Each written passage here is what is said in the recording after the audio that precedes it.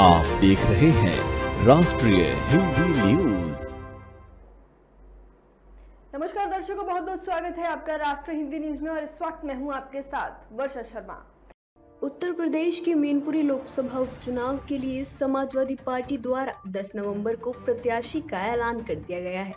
इसकी जानकारी सपा ने ट्विटर पर ट्वीट करके दी। कि पार्टी प्रमुख अखिलेश यादव की पत्नी डिम्पल यादव को मेनपुरी से अपना कैंडिडेट बनाया गया है।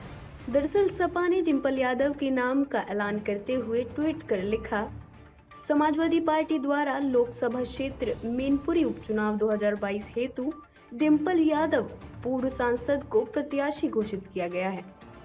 आपको बता दें डिम्पल यादव इससे पहले भी सपा के टिकट पर सांसद रह चुकी हैं। पहली बार उन्होंने 2014 में कन्नौज लोकसभा सीट पर जीत दर्ज की थी। उस समय केवल सपा में पाँच उम्मीदवार ही लोकसभा चुनाव जीते थे। उन पाँच उम्मीदवारों में डिम्पल यादव भी शामिल थी। लेकिन 2019 के लोकसभा चुनाव में उन्हें हार का सामना करना पड़ा था।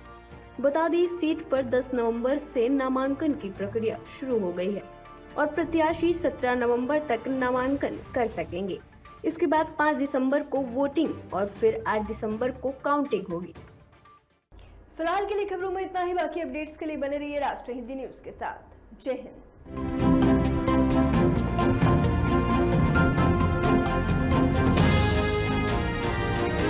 आप देख रहे हैं राष्ट्रीय हिंदी न्यूज़।